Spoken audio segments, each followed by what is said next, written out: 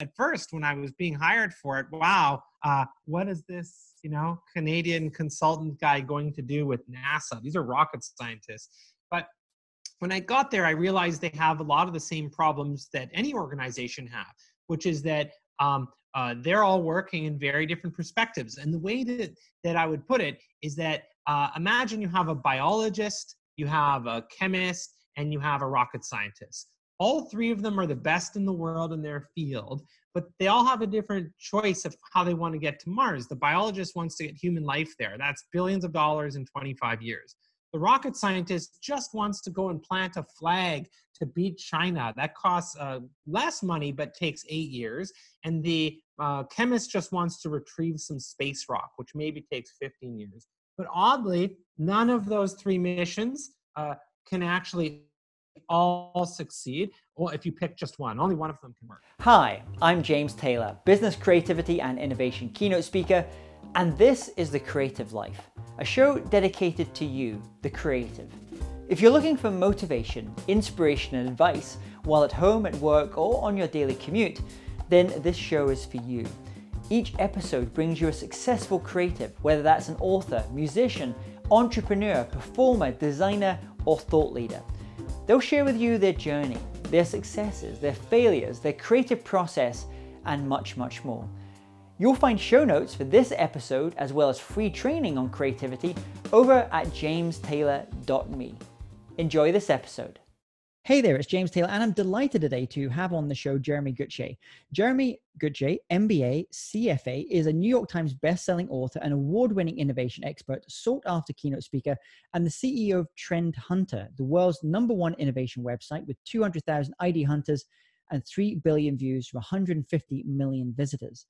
Prior to Trend Hunter, Jeremy grew a $1 billion portfolio for a bank, and today over 600 brands and CEOs rely on his speeches, including Google, Disney, Starbucks, Netflix, Coca Cola, and IBM.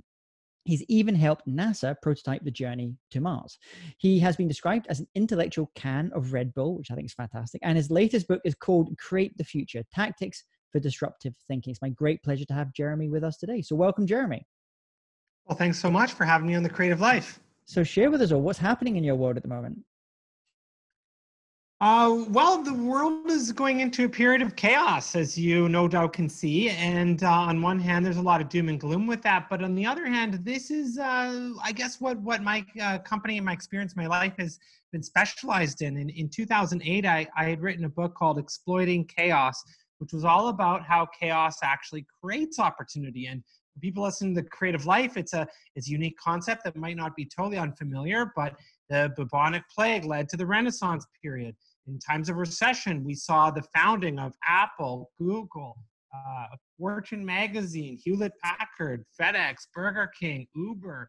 Uh, all sorts of interesting things happen in these times of chaos because they break us out of the rut of repeating whatever led to last year's decision. They cause us to try new things, explore and experiment, and they cause us to be more creative. So, uh, on one hand, it's a, an awkward time and an intimidating time, but on the other hand, we're entering the most creative period ever. And uh, my new book, Create the Future, was a, a two sided book with one side being a total rewrite of that chaos book, and the other side being all about change in, in times of chaos. So, uh, this is a this is a time where everyone in my company is all in, trying to figure out how to help people navigate this wild time of chaos. Well, it's, certainly a very timely book. Where, where did your your fascination for innovation come from? When did it all begin for you? All I ever wanted to do was be an entrepreneur. I mean, as a kid, I had a dad that was a serial entrepreneur with all the ups and downs an entrepreneur has. He had some wild stories of being a boy businessman. And so I wanted to be a boy businessman when I was just a little kid. And so actually, I had this creative exercise where when I grew up, he would buy every magazine in each category. It could be on cars, trucks, fishing, boats, really didn't matter. And, and then we would sit down and we would flip to the sections in that magazine with new innovations. And we'd go through each one and he'd say, What do you think about this? What about that? What about this? What if we were to make this? How much would the parts cost if we went to garage sales and bought used parts? And how would we sell it? How would we price it? And so I had a life growing up of wanting to be an entrepreneur so bad, of practicing and testing ideas so much that uh, on one hand, I knew that's what I wanted to do, something creative. But on the other side, I sort of felt overwhelmed. How do you pick when there are so many different choices out there? So that led me to the world of corporate innovation where I thought I would get my idea. I still didn't. So then back in 2005, before YouTube and before Facebook, I coded Trend Hunter as a place for people around the world to share ideas and truthfully, I thought maybe some trend hunter from Scotland or a trend hunter from South America might submit the little idea that would inspire me. And what I didn't realize is that lots of us are looking for our creative inspiration. So the traffic went from thousands to millions to billions. And so, from a, a sort of company perspective, we flipped Trend Hunter on its head. And on the front page, you can get inspiration, but on the back, we started working with hundreds of brands to sort of filter the insight we're seeing to help people get their inspiration. So that's my world and uh, kind of brings you up to speed, I guess, with how I got into the world of innovation in some ways by accident, really just by being a kid searching for his idea. Now, it's, it's a fascinating business trend. I'm, I'm always intrigued when I kind of go on the site and I see all the, the things you, you've kind of got going on there. I know you do events, you do kind of innovation uh, days all around the world as well. When you're working with your, your different clients um, and also individuals, what do you find holds them back from really achieving that kind of innovation potential that, that they all have? Well, we get caught in a rut of uh, uh, repeating past decisions. And um, actually, when I wrote Create the Future it, as a two sided book, the first side was meant to be the part I think I missed when I'd written my first book 12 years ago, which was that you can have all the creative innovation frameworks you want, but the reality is the more successful a person gets, the more successful an organization gets, the more they get stuck in their ways of wanting to repeat what happened before. So I'd written the first side, there, the Create the Future side, to be strictly about disruptive thinking versus path dependency. And path dependency is really interesting. It's a psychological concept from the 1950s. And if you apply today's innovation in chaos world, it's, it's quite applicable because the concepts are that um, the better you get at anything, the more you want to stay stuck in the path and you start missing out on the reality that there are so many other paths you could take, so many different decisions you could make, but we stick with a safe choice. And for a variety of factors, we miss out. So when it comes to larger organizations you work with, how what are some ways that they can use to kind of knock them out into that that uh, that dependent way of of of building a business just being happy with the way well this is the way it's always happened this is the way that we should continue. It maybe we'll do some uh, you know incremental innovation but uh, we don't want to rock the boat. How do you how do you start to kind of move them out? Is is it a culture thing or is it a, a, a systems or a process or is it really st- strategic it, it's cultural and it's mindset. And I like to start by really walking through what the seven traps of path dependency are to illuminate to people where they're held back. And they involve things like the subtlety of disruptive ideas and the way new things seem awkward, especially to smart people who've been in that market.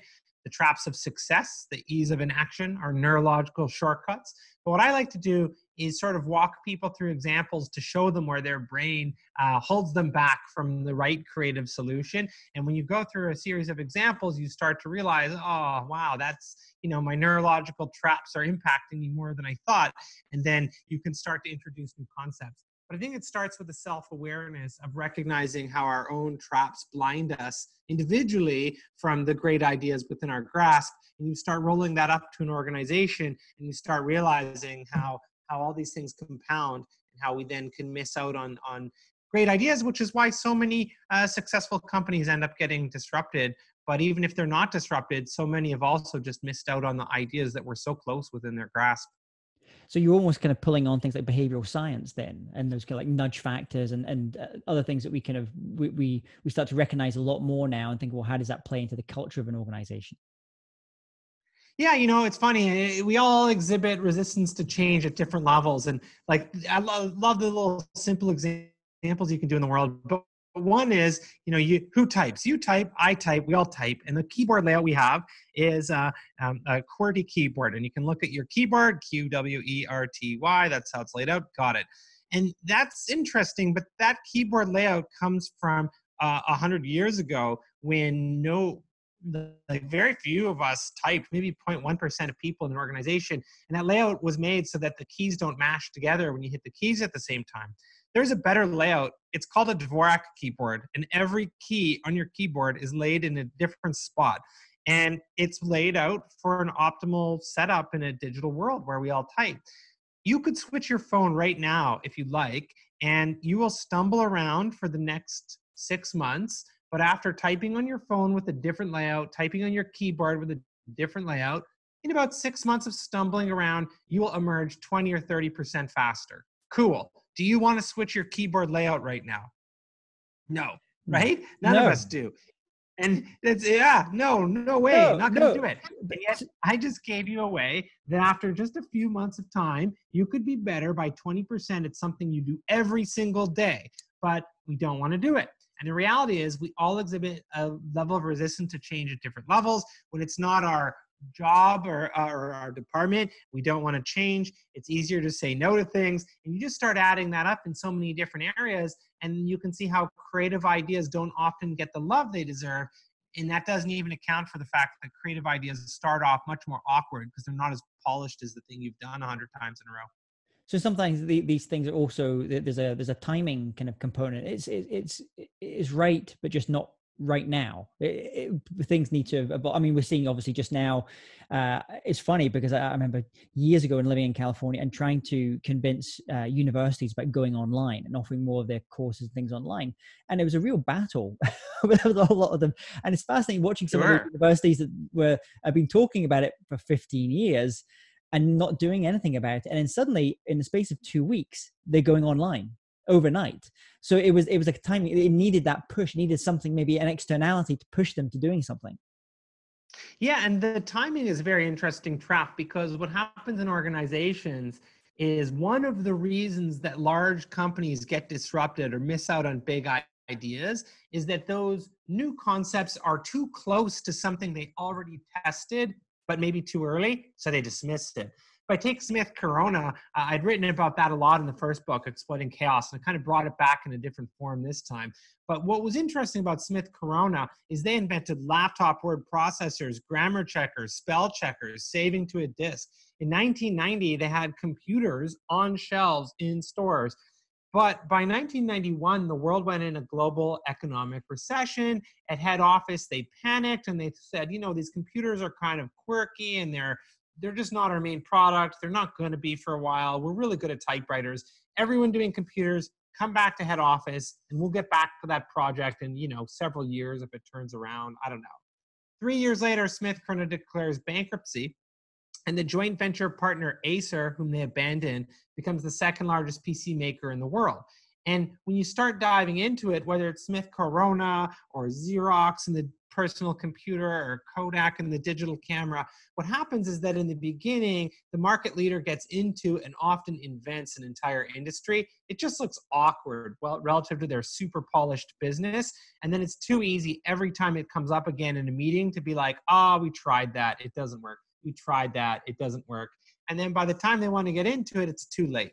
So being good and trying something too early can be a trap because then you miss out on uh, that new idea's emergence because it's so easy to say we tried that before.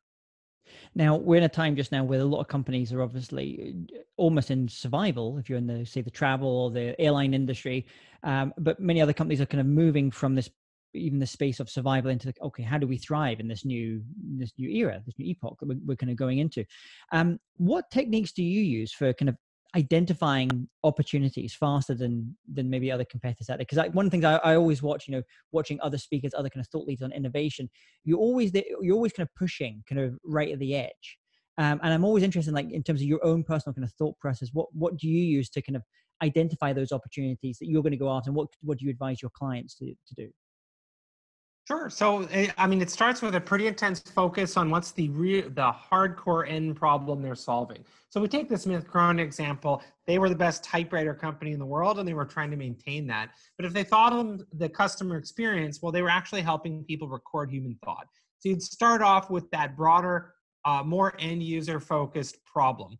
But then when you get in the problem, the core of uh, my methodology is about trying to break you from the path and recognizing that you keep clinging to the solution that you see. So what we try to do is break you out of that uh, with, uh, with that's effectively Trend Hunter's business by showing you your opportunities from multiple angles and getting you to go through the experience of what could lead to your company's disruption? If we destroyed it and rebuilt it, what would happen? How would different competitors approach your market? If Amazon oddly got into your market, even though you never thought they would, just like they did with Whole Foods, how would they approach your market? What about Patagonia, who only cares about sustainability? And yeah, I could go on and on. The point, though, is not about um, specific examples I'm saying. It's the technique of trying to break the problem apart and look at it from multiple perspectives in, in order to get out of all of those traps that keep you path dependent and not realizing uh, the, the alternative routes and alternative paths that you could actually attain.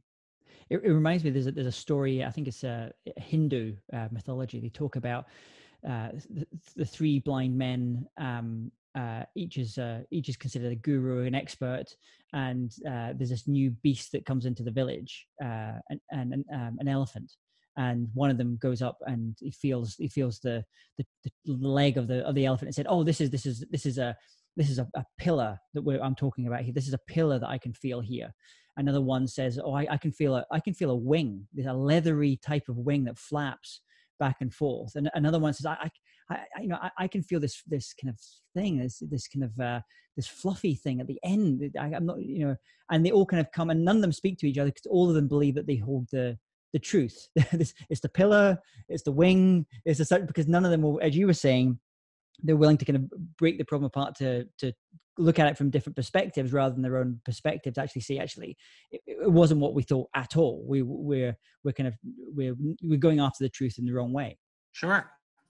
Well the, the other issue that that uh that parable brings up is the reality that in so many organizations uh, whatever creative role you might have you're often focused on a smaller part of the bigger problem and then different groups compete for resources. They don't necessarily communicate. Things get siloed and then we lose hold of what the overall mission is. So actually one of the other workshops i like to do which i i, I outlined um, sort of step by step in the book uh, is really trying to bring groups together to collide and, and, co-create the future. And i had a really cool experience of doing that uh, a couple times with nasa where i worked on prototyping the journey to mars which was like a wow what a boyhood fantasy of a project from my perspective but um, and I also thought well, at first when I was being hired for it, wow, uh, what is this, you know, Canadian consultant guy going to do with NASA? These are rocket scientists. But when I got there, I realized they have a lot of the same problems that any organization have, which is that um, uh, they're all working in very different perspectives. And the way that, that I would put it is that uh, imagine you have a biologist, you have a chemist, and you have a rocket scientist all three of them are the best in the world in their field, but they all have a different choice of how they want to get to Mars. The biologist wants to get human life there. That's billions of dollars in 25 years. The rocket scientist just wants to go and plant a flag to beat China. That costs uh, less money but takes eight years. And the uh, chemist just wants to retrieve some space rock, which maybe takes 15 years.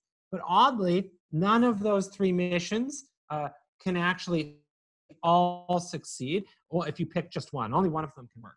So then what, what the whole workshops were, were bringing everyone together to co-create the future. And what was interesting is normally they would apply for their grants and get individual success in their careers and stay focused just on the next milestone. And they don't ever actually get to talk about getting to Mars at a high level. You just go do your experiments in a back room. But when we brought everyone together and we run through a series of exercises where they start realizing what happens if things go wrong, then it forces them to realize how they have to play together. They realize that um, they're actually going to be headed for failure, uh, and you can paint that picture out. And I'll skip ahead a little bit because what I liked was in the end, the act of destroying and rebuilding led the groups to realize a couple things. Uh, they realized if you don't, uh, uh an astronaut stood up and he said, if you don't get your project approved and done in eight years, you'll see it canceled and you'll get fired and lose your job. Everyone laughed. He goes, No, I've been on 17 missions that were canceled, and I realized eight years is the magic number because every time the president changes, they cancel all the missions to Mars. and so you need to get your work done in eight years or you lose presidential support and you're done. Now, the room chilled and they realized how different things were on this giant long-term project and how they'd have to play nice together if they want incremental career success so they went through all these simulations that they normally wouldn't get to talk about or do the end goal really being that they learned to collaborate more but my favorite presentation at the end was one group got up and they said, Hey, we've got the answer. And you're going to laugh at us. You will. You'll laugh at us. You'll say it's impractical. But by the end, you'll realize we're geniuses. And everyone paid attention. And they said, Our answer, laugh if you will, is space beer. Here's why space beer works because we need to get a rocket to the to Mars so the rocket scientist is happy. We then need to harness the water that's there so the biologist is happy or the sorry the chemist is happy. Then we need to try and grow a little plant so the biologist is happy. And then we need to see if we can, you know, do a little experiment to make beer. But with every level that we do this, we harness water on water to get closer to America brewing beer social media will go wild. We'll get more support at every little step. And by the end of it, you try being the American president that cancels America's mission to brew beer on Mars. Anyway, it's a long, fun story of creativity, but one of my favorite projects I've ever been a part of.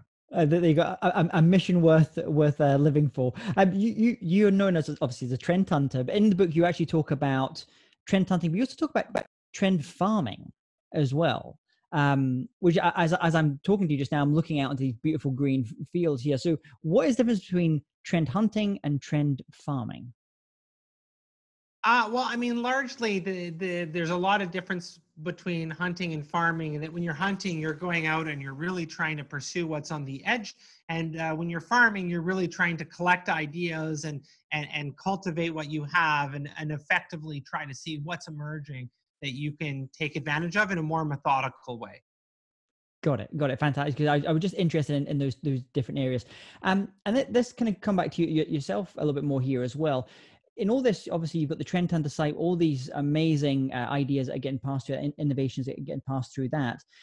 In in terms of your own life and your own creative process, are there any online resources or tools or apps you find particularly useful, either in in collecting your ideas or you know when you when you have something or kind of working on your ideas well i mean i try not to explicitly uh, plug trend hunter in a certain way but i had built trend hunter as a place for people from around the world to share business ideas. And at this point we have a couple hundred thousand contributors so it's a community so i don't feel bad about then uh, showcasing their lovely work. And uh, we've we've featured about half a million ideas in every category from design to fashion tech and pop culture so personally, I do definitely spend a lot of time on Trend Hunter, and you'll find me lurking about, commenting, checking on things, and looking for you know my my next little inspiration there. And then personally, when it comes to my work and trying to come up with book ideas, I really just every time I I see something inspiring, I very quickly email it to myself, just using a little uh, uh, uh header code so that I can search all my notes later just in email because I really don't want to have delay when I think about an idea. Um, and then I have a process where I kind of just go over stuff again and again and again, trying to find the perfect storyline or thread that, that makes sense or helps me look at a problem from a different perspective. Nice. And if you were to recommend one book to our listeners, not your own book, but a book by another author you find either particularly inspiring or, or one maybe a book you've gifted more than others, what would that book be? And also an album. You're in you're in Canada land of some of the greatest songwriters, musicians in the world, what would that what would that album be you'd recommend? So what would the, the book and the album be? Well, the, I mean, the book that I always loved the most is a book that's a very unique recommendation, but it's called uh, "It's Not How Good You Are; It's How Good You Want to Be," and it's by Paul uh, Arden, who was actually the chief uh, creative officer for Saatchi and Saatchi for many years. And uh, below it, the subtitle is the world's best-selling book by Paul, Paul Arden, as in the only book by Paul Arden. Uh, I remember that. It's, it's, a, it's, a, very small little book as well. It's a beautiful little. It's book. a small little book, and it's half imagery, uh, but it's a rereadable book that um, is actually what what inspired me to make my first book, Exploiting Chaos, half imagery, because I remembered we received that book in our MBA program, and then uh, years later, you know, that was the same year that Good to Great was a big book and all this stuff. But years later, I look on all the coffee tables of all my fellow you know classmates and and and I'd see not good to great but rather this book from Paul Arden and it's because it's just a handy little pick me up to open and flip through and look at the titles and get inspired. So I love that book because it's rereadable and you can kind of grab it from any page and, and dive in. So that would be my favorite book that I've, I've given more than any other and then what about the music? What would the album be? Part two on an album is difficult for a guy like me. The short attention span of a guy from trendhunter.com means my uh, my views on music are always changing and i'm bored and looking for the next big thing at any given time so for me it's usually a, a, spotify channel where i've got whatever the latest thing is that i've heard but I, I let the algorithm show me what it recommends next just to try and keep on the edge of, of what's next so i couldn't be repetitive enough to name you one album even though i do, do love listening to new songs all the time and then, Jeremy, let's imagine you wake up tomorrow morning and you have to start from scratch. So you've got all the, the tools of your trade, all the knowledge you've acquired over the years, but no one knows you and you know no one. What would you do? How would you restart things? Well, I think the lesson that I feel I've learned over a couple decades of searching so relentlessly for my idea and then and then finding it is um, that in the early days, I would look for business ideas and filter business ideas and evaluate them by thinking, oh, how much money can you make from this? Is there a market opportunity? And kind of approaching things like that. But now I realize it's so much more important to have passion and not in a cliche way of saying, oh, you, you know, you love playing guitar, dedicate your life to the guitar. But it's thinking about what types of things do you like? Do you like solving a certain type of problem? What are those activities? And then really trying to choose something that you are passionate enough that it doesn't necessarily feel like work, that you love solving that type of problem. So for me, it's sort of futurism and looking at problems from different perspectives and trying to solve difficult problems uh, with non-traditional ways.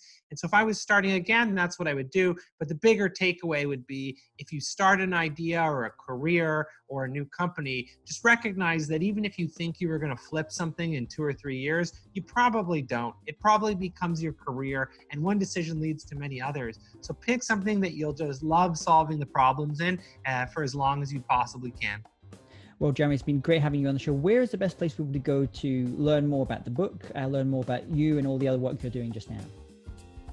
Well, the easiest place is to go to trendhunter.com, and there you can find all sorts of resources about our trends, our mega trends, our frameworks, lots of free tools like our new 2020 report.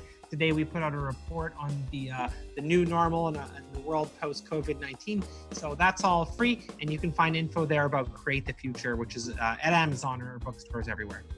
Well, uh, Create the Future Tactics for Disruptive Change is now out. So uh, uh, thank you, Jeremy, so much for coming on the show today and for sharing with us all about your creative life. Well, thank you so much for inviting me. And I love the mission at the Creative Life. So keep it up. If you're interested in living a more creative life, then I'd love to invite you to join me as I share some of the most successful strategies and techniques that high performing creatives use. I put them all together in a free downloadable ebook that you can get by going to jamestaylor.me. That's jamestaylor.me to get your free downloadable ebook on creativity.